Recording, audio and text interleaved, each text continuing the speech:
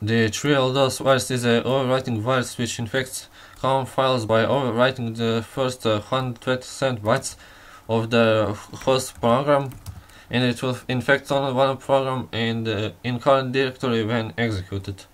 Let's just check. If you use uh, 3 it will be okay for now. Edit still works. Now let's uh, try to infect. Now let's try again. Doesn't work. Three. That still works. Format still works.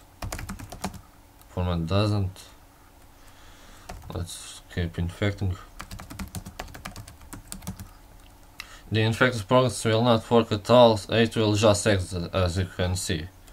When all programs in uh, the current directory are infected, uh, the virus will alter the system video uh, characteristics so that any output sent uh, to the system display will be scrolled diagonally down the screen or it will just make a zigzag effect uh, which is actually uh, an analysis of uh, this real DOS virus.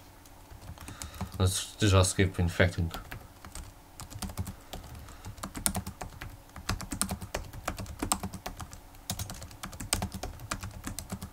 Still not uh, it's still not anything infected. Oh yeah. Oh. Uh, now it's all now all com files are infected and now you'll get this uh, effect. Let's uh, try it out.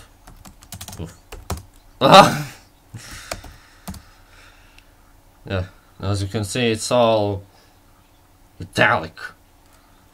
Let's try it uh, wide. It's a total mess.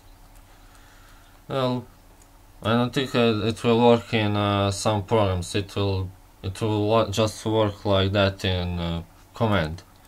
Let's try Microsoft antivirus.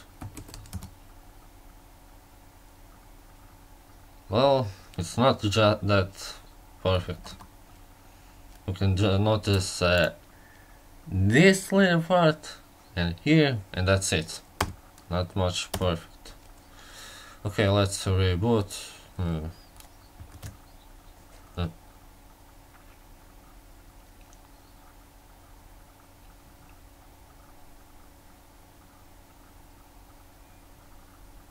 as you can see now there's nothing now wrong but uh, if we try to launch another COM program in DOS like graphics ah hold on.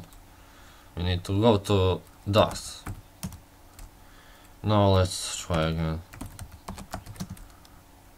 Yeah, now it works.